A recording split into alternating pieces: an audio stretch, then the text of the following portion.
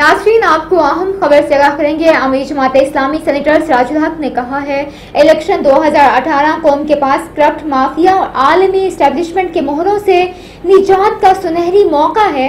इसे जाया ना करें और 25 जुलाई को मुतहदा मजलिस अमल का वोट देकर निज़ाम मुस्तफ़ा सल्लल्लाहु अलैहि के निफास में हमारा साथ दें। मौजूदा इलेक्शन बैरूनी अशारों पर नाचने वाले सेक्युलर टोले और इस्लाम पसंद कुतों के दरमियान फैसला कन मार का है मुल्क के नजरियाती और दिफाई सरहदों की हिफाजत और कौमी यकजहती के फरोग के लिए एम एम ए की कामयाबी ज़रूरी है